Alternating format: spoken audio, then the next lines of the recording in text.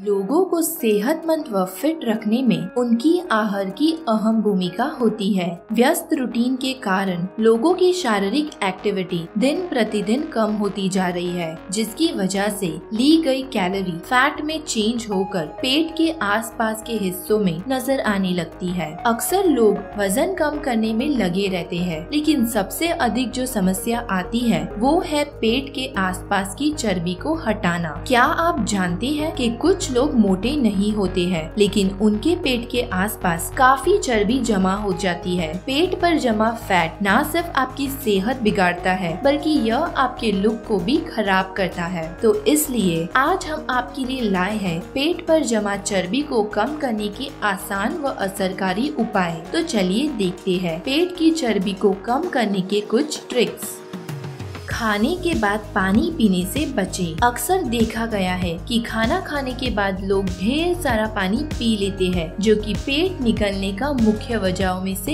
एक है। खाने के अंत में पानी पीना उचित नहीं है, बल्कि एक डेढ़ घंटे बाद ही पानी पीना चाहिए। अगर आपको ज़्यादा प्यास लग रही है तो खाने के बाद बस एक कप हल्का गुनगुना पानी पिए।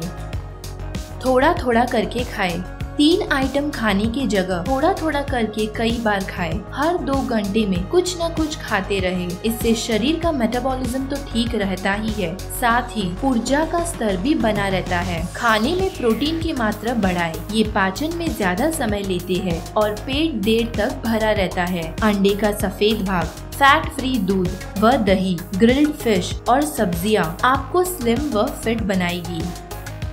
शहद है फ़ायदेमंद। जैसे कि हम सब जानते हैं, शहद गुणों की खान है यह मोटापा कम करने में भी कारगर है। रोज़ाना सुबह गुनगुने पानी में शहद मिलाकर पिए। नियमित रूप से इस प्रक्रिया को अपनाने से आपको जल्द ही असर दिखाई देने लगेगा।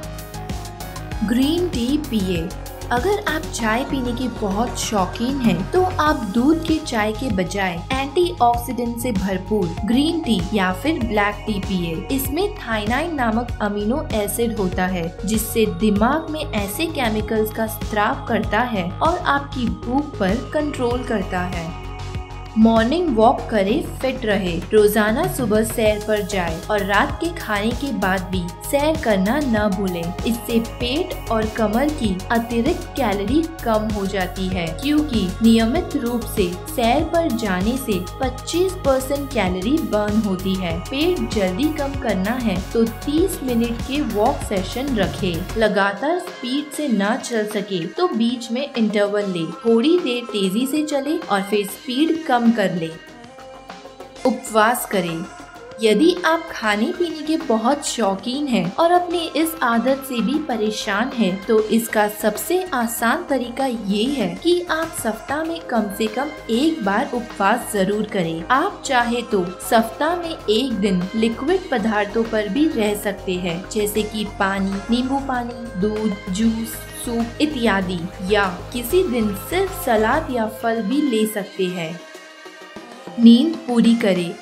संतुलित आहार व व्यायाम के साथ पूरी नींद लेना भी ज़रूरी है। नींद पूरी न होने पर तनाव बढ़ने वाले हार्मोन्स रिलीज़ होते हैं, जो आपको खाने के लिए प्रेरित करते हैं, जिससे पेट की चर्बी भी बढ़ती है। रात में छह से सात घंटे सोने वाले लोगों में पेट का फैट कम होता है। इससे ज़्यादा या कम नींद लेने वाले लोगों को तोंद की समस्या ज़्यादा होती है।